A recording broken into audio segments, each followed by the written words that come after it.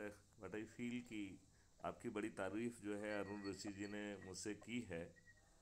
और I very strongly feel that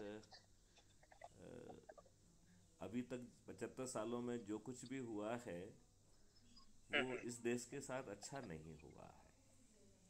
ठीक बात और हमें इस यदि पूरी व्यवस्था को यदि हम राक्षसी हाँ यदि हम राक्षसी व्यवस्था कहेंगे तो उस राक्षस की जान जो है राजनेताओं में है जिसको तोता कहते हैं वो तोता राजनेता है। हम्म। और देखा जाए तो इस ये तोता बड़ा बेईमान टाइप का तोता निकला। जिन जिन कार्यकर्ताओं के कारण ये राजनेता बना ये उनको भी उत्पीड़ित करता है जिससे कि वो उसकी ही चरण सेवा में बने रहें उसकी चरण वंदना करते रहें। हम्म, बिल्कुल। और ये भी देखा जाए तो उनको भी जो है वो कोई राहत नहीं पहुंचाता है। हम्म। और टिकट भी अच्छे लोगों को नहीं देता है बाहुबलियों को दल बदलुओं को। और अब ये स्थिति ये बन गई है कि पार्लियामेंट में इस समय 42 परसेंट मेंबर ऑफ़ पार्लियामेंट उनके अपने ही एफिडेविट के हिसाब से आपराधिक चरित्र के हैं। हम्म। और 29 परसेंट तो जघन्य अपराधों के अपराधी हैं लाइक हत्या, डकैती किडनैपिंग बलात्कार एक्सेट्रा जो कि मतलब किसी भी तरीके से अच्छा नहीं कहा जा सकता है। और अभी तो जो है, अति हो गई है, जब उत्तर प्रदेश का जो पिछले साल चुनाव हुआ है, उसमें 403 सदस्यों की विधानसभा में 403 सदस्यों की विधानसभा में 205 अपराधी हैं विच मेक्स इट 51 परसेंट और ये संख्या तो ये संख्या तो उनके द्वारा जो कहा गया है वो है राइट यदि इसमें से कुछ छिपा लिया है ऑफेंस रजिस्टर नहीं हुए हैं हुआ है वो हुआ है वो सब अलग है। है कि नहीं? बिल्कुल एब्सोल्यूट तो अब सवाल ये उठता है कि हमें एक ऐसा मॉडल लाना होगा जिसके तहत हम इन राजनेताओं को पराजित करें अब इतने बैकग्राउंड के साथ मैं पहले आपको सुनना चाहूँगा कि आप सनातन में क्या कर रहे हैं। And basically what I feel कि आपके जितने भी उद्देश्य हैं, वो क्राइम फ्री भारत के इक्कीस लक्ष्यों में समाहित हैं, जिसके लिए हमने टेक्नोलॉजी का इंजन जिसके लिए ड्राफ्ट लॉ के इंजन ऑलरेडी बना के रखे हुए हैं। तो it is something like that यदि हम लोग कोलाबरेट करेंगे, सभी लोगों को साथ में लेके चलेंगे तो क्राइम फ्री भारत ने जो मॉडल डेवलप किया है, उस मॉडल से 2024 में हम अखिल भारतीय स्तर पर सभी राजनीतिक पार्टियों के सभी राजनेताओं को पराजित कर सकेंगे और हमारे पाँच पैसे खर्च नहीं होंगे। हम किसी के सामने जो है हाथ फैला के अपने लिए वोट भी नहीं मांगेंगे, ना हम न्यूज़पेपर में होंगे, ना होर्डिंग होगी, ना टेलीविज़न पे होंगे, ना डिबेट में होंगे, इसके बाद भी सभी राजनीतिक पार्टियों के सभी राजनेता पराजित हो जाएँगे। इतना पावरफुल जो है ये मॉडल है। और मेरे ख्याल से अरुण जी ने आपको इस बारे में थोड़ा बहुत ब्रीफ ज़रूर किया होगा। और बिल्कुल किया। हाँ और मैं ये चाहूँगा कि इसके पहले कि अपन आगे वार्तालाप करें can be really discuss about your profile आप क्या सोचते हैं? सो so दैट जो हमारी चर्चा होगी वो उसमें कैसे हम इंटीग्रेशन लाएँ संभवतः हम उस बारे में कुछ बात कर पाएँगे। बिल्कुल ठीक है। देखिए अभी इमीडिएटली जो हमारा ये है वो 2024 का जो पार्लियामेंट्री चुनाव है इस संबंध में है। क्योंकि जम्मू कश्मीर में रहते हुए इससे पहले जब एकजुट जम्मू नाम की पार्टी जो थी हमारी चल रही थी रीजनल पॉलिटिकल पार्टी थी लेकिन हम राष्ट्रीय सुरक्षा के दृष्टिकोण से और पूरे भारत में जो सिक्योरिटी हम सबवर्सिव प्रोसेसेस की जो जम्मू कश्मीर में चल रहे हैं कई दशकों से तो उसके खिलाफ हम लड़ाई लड़ ही रहे थे। और जो भी लड़ाई अब जम्मू कश्मीर में लड़ते हैं उसकी इम्प्लीकेशन जो है वो डायरेक्ट हमारी सिविलाइज ऐसा हमारा मानना है और हमने उन विषयों को आर्टिकुलेट करके आइडेंटिफाई करके और उन पे लड़ाई लड़ने का भी पिछले सात आठ वर्ष में वो कार्य किया।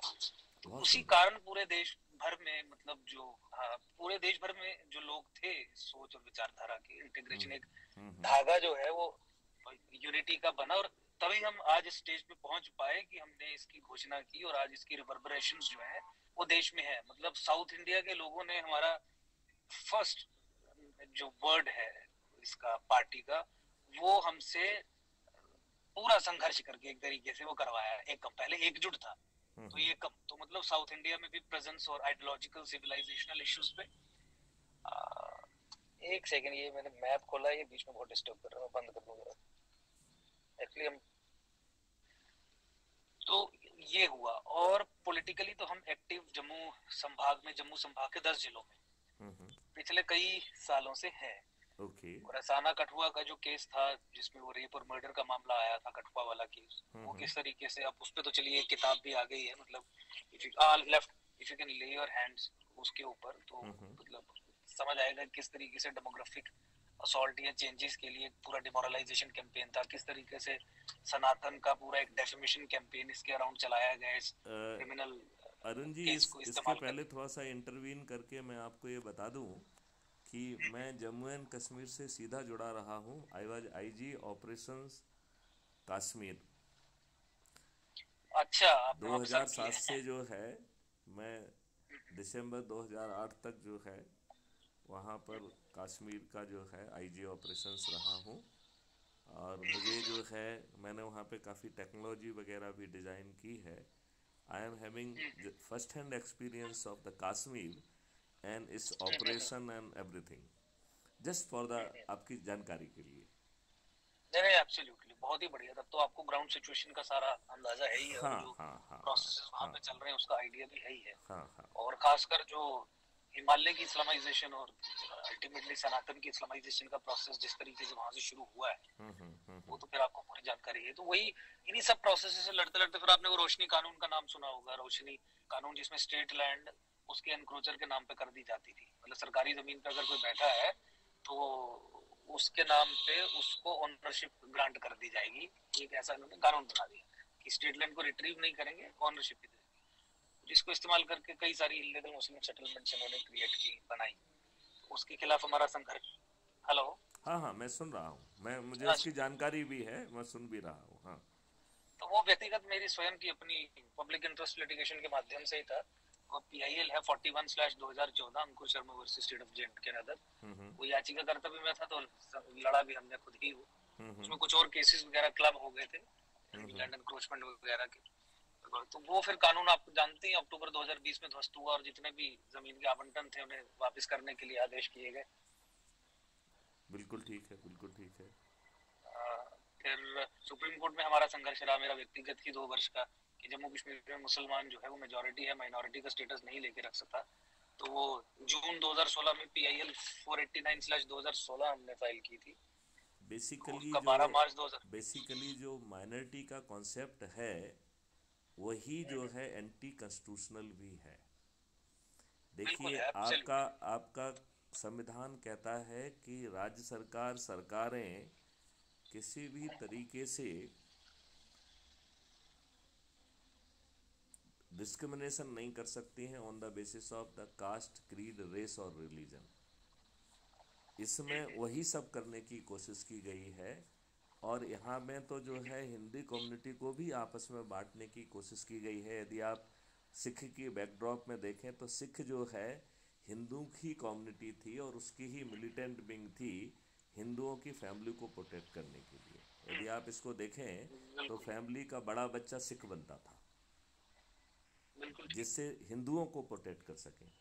और आपने जो है ना, उसमें माइनॉरिटी में जो है जैन को, इनको अलग करके आपने उसको भी डिवाइड कर दिया है तो ये जो है संविधान की मूल भावना से वो है।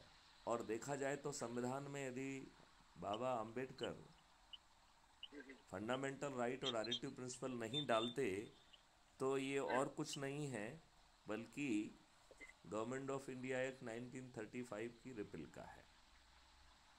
तो इसमें हमें सबसे पहले तो ये सोचना पड़ेगा कि क्या हमें आज़ादी मिली या ट्रांसफ़र ऑफ़ पावर मिला क्या क्या समझा समझौते किए गए और अपने देशवासियों के ऊपर वह नियम कानून क्यों थोप दिए गए जो अंग्रेज़ों ने खुल्लम खुल्ला पॉलिसी के तहत बनाए थे कि हम जो है आ, वो करेंगे।